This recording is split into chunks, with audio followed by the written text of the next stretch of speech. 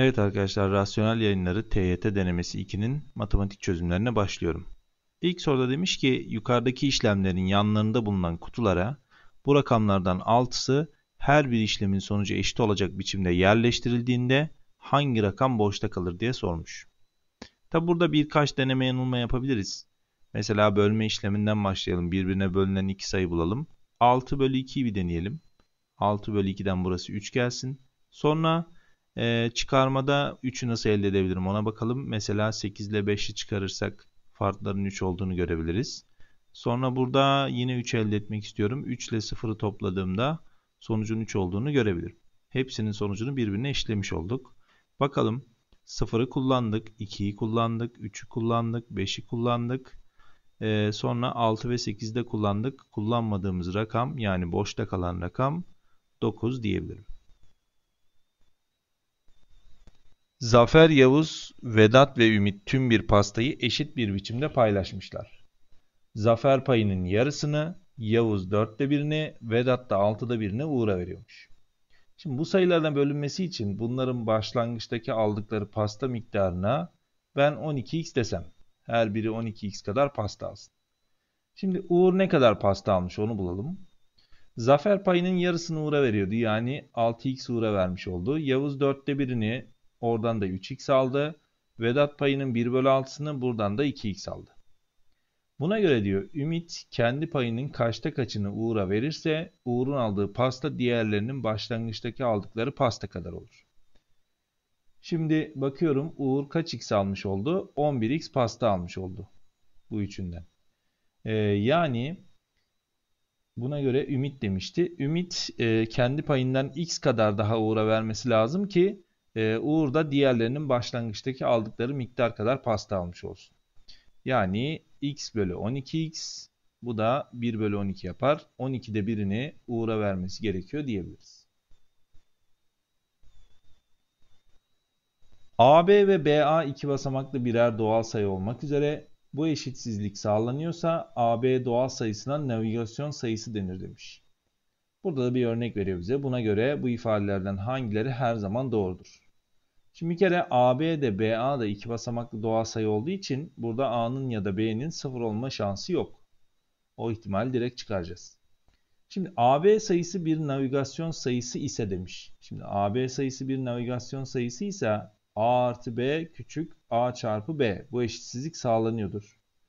BA sayısı da bir navigasyon sayısıdır. Şimdi BA'nın navigasyon sayısı olabilmesi için bunları yer değiştirmem lazım. Yani B artı A'nın B çarpı A'dan küçük olması lazım. E toplamada da çarpmada da yer değişme özelliği olduğu için bu iki eşitsizlikte değişen bir şey yok. Yani bunun sağlandığını görebiliriz.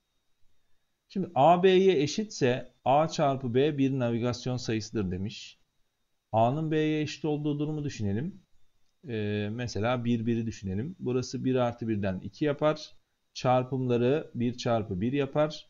2 birden küçük mü? Değil. Demek ki bu her zaman doğru olamaz. A eşittir 1 ya da B eşittir 1 ise AB sayısı bir navigasyon sayısı değildir demiş. Şimdi mesela A'nın 1'e eşit olduğu durumu düşünelim. A 1 olursa A yerine 1 yazalım orada. 1 artı B'nin B'den küçük olması gibi bir durum söz konusu olur. E, bir rakamın bir fazlası kendisinden küçük olamayacağı için bu ifade de doğru olmuş oluyor. Yani A ya da B 1 olursa bu sayı bir navigasyon sayısı olamıyor. 1 ve 3 daima doğrudur diyebiliriz. Dünya Sağlık Örgütü koronavirüsün yayılımı ile ilgili aşağıdaki açıklamayı yapıyor. Dünyada 4 vakanın görüldüğü ilk günden itibaren vaka sayısı birinci haftanın her bir gününde bir önceki günün iki katına çıkarak devam etmiş ve ikinci haftanın her bir gününde e, bir önceki günün 8 katına çıkarak yayılımını sürdürmüş. Buna göre diyor dünyada ikinci haftanın sonunda ulaşılan vaka sayısı kaçtır? Şimdi e, en başta 4 vakanın görüldüğü diyordu. Yani birinci haftanın birinci günü 4 tane vaka var. Bundan sonraki 6 günde, birinci haftanın kalan 6 günde e, her gün ne oluyordu? 2 katına çıkıyordu. O zaman 6 kez 2 katına çıkmış olacak. Yani 2 üzeri 6 katına çıkacak. Sonra ikinci hafta her bir günde ne oluyordu? 8 katına çıkıyordu.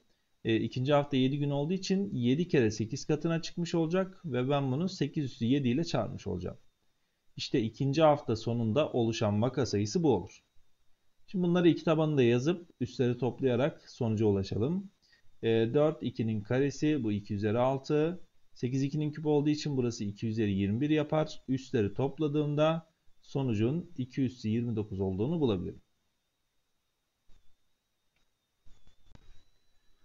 Aşağıda verilen cıvatalarla özdeş olan cıvatalar en sağdaki vidaya geçirilecektir.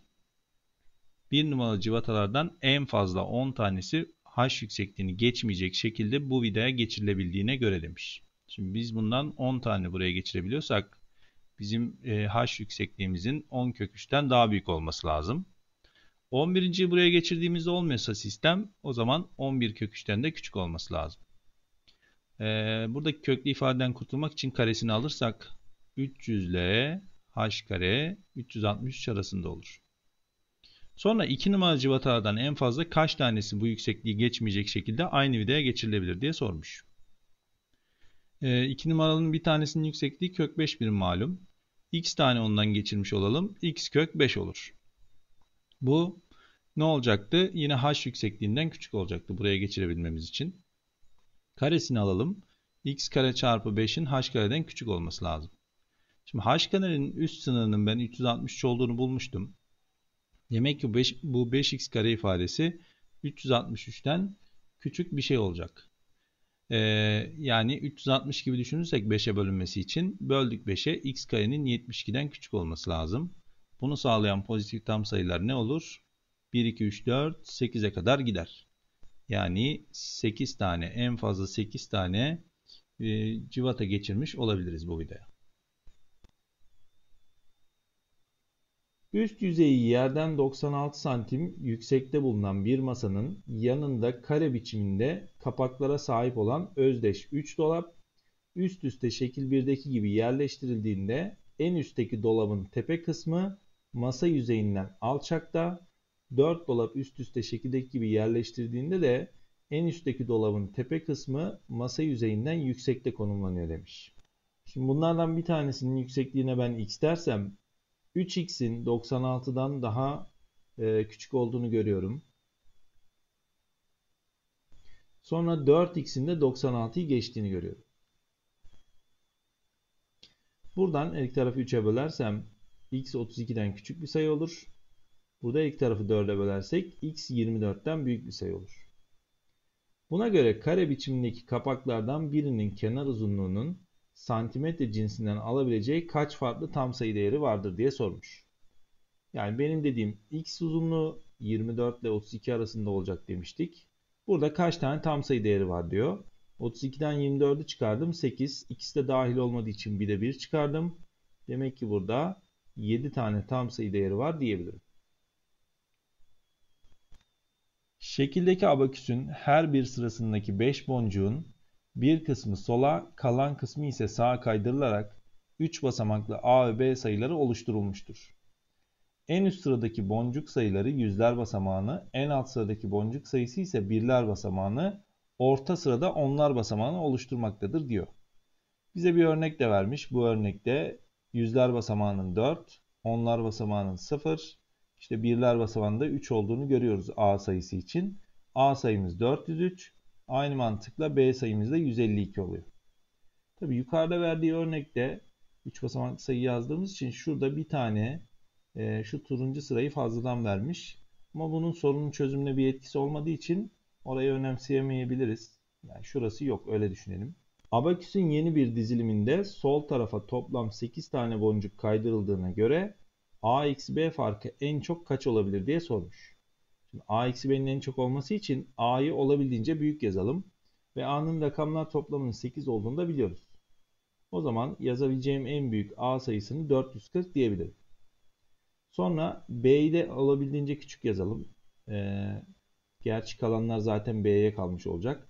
B'ye ne kalıyor? Buraya 4 tane aldıysak bir tane buradan, bir tane buradan, 5 tane de buradan B'ye kalıyor. İşte en büyük A sayımız ve diğer B sayımızı bulmuş olduk. Bunların farkı da en fazla 325 olur diyebiliriz. x, y ve z birer doğal sayı olmak üzere bu eşitliği bana veriyor. Bunlardan hangileri daima tek sayıdır diye sormuş. Şimdi kesin olan şeylere bakalım. x, y, z'nin teklik çiftlik durumuna bakalım. Burada 4y'nin çift olduğunu, 5 eklediğimizde de tek olduğunu biliyoruz. Burası tek bir sayı. x ile z nasıl tek gelir? Bunlar zıt olursa yani biri tek biri çift olursa. Bunlar zıtmış. Tabi y her şey olabilir. Tek de çift de. Şimdi x çarpı y daima tek mi bakalım. x çift olabiliyordu. y'de her şey olabiliyordu. O yüzden biz buna daima tek diyemeyiz. Gitti. X eksi z'ye bakalım. Bunlar zıt olduğu için tekle çiftin farkı her halükarda tektir. Bu doğru. y ile z'nin çarpımına bakalım. Ee, z çift olabiliyordu. y'de her şey olabiliyordu. O yüzden ben buna da daima tek diyemem. Ee, cevabımız yalnız 2 olur. Sayı doğrusu üzerinde t sayısı şekildeki gibi gösterilmiş. Sonra bu sayı doğrusu üzerinde 1'e olan uzaklığı 5 birim olan sayılar işaretlenmiş diyor. 1'e olan uzaklığı 5 birim olan sayıları işaretliyoruz. Şurada bir sayı ya da burada bir sayı işaretlemiş olabiliriz. İşaretlenen sayılardan birinin t sayısına uzaklığı 3 birim olduğuna göre t sayısının alabileceği farklı değerlerin çarpımı kaçtır diye sormuş. Bakalım şimdi 1'e olan uzaklığı 5 birim olan sayıları işaretliyorduk biz. Mesela şuradaki sayıyı işaretlesek 1'in solunda olsa bizim sayımız bu eksi 4 olur. Ee, bu eksi 4'ün de t'ye olan uzaklığının 3 birim olma şansı yok. Demek ki bizim işaretlediğimiz sayı 1'in solunda olmayacak. 1'in sağında olacak. Ya burada olabilir ya da t'den daha büyüktür burada olabilir. İki durum var. Şimdi 1'e olan uzaklığı 5 birim demiştik ya. Eğer bu sayı şurası 5 birim olduğuna göre bu 6 olur. Bununla t arasındaki mesafe de 3 birim olduğu için t'nin bir değeri 9 olur. Sonra bu sayı değil de diğer sayıyı biz işaretlemiş olsak, şunu işaretlesek. O zaman ne olacak? Burası 5 birimdi. 1 ee, ile bunun uzaklığı 5 birimdi. Tabi bu 6 olur. T ile bunun arası 3 birim olduğu için t'nin değeri de 3 olmuş olur. İşte t'nin alabileceği diğer değer de 3 t'nin alabileceği değerler çarpımını sormuştu bana. Bunları çarparsak sonucun 27 olduğunu bulabiliriz. A, B ve C birer gerçel sayı ve A, B'den o da C'den küçük olduğuna göre diyor. İfadelerinden hangileri her zaman doğrudur? Bakalım şimdi. Burada B eksi A var. B eksi A'nın pozitif, C eksi A'nın da pozitif olduğunu biliyorum. Hatta şöyle düşünelim. B ile A arasındaki mesafe mi daha büyüktür? C ile A arasındaki mesafe mi daha büyüktür? C ile A arasındaki mesafe daha büyüktür. O zaman şu B eksi A 2 gibi bir şeyse mesela 1 bölü 2 diyelim. C eksi A'da ne olacak? 3 olacak. 1 bölü 2 1 bölü 3'ten büyük gibi bir durum var. E bunun da doğru olduğunu biliyoruz. A kare C kareden büyük demiş. Bunların işaretleriyle ilgili bir şey söylemediği için A'yı mesela ben eksi 3, C'yi 1 alırsam A karenin C kareden küçük olma durumu yok. A kare C kareyi geçer. Üçüncüye bakalım. A artı B, A artı C, B artı C demiş. A artı B en küçük ikilinin toplamı. A artı C küçükle en büyüğün toplamı. B artı C en büyük ikilinin toplamı. E bu eşitsizliğin her zaman doğru olacağını söyleyebiliriz. 1 ve 3 daima doğrudur dedim.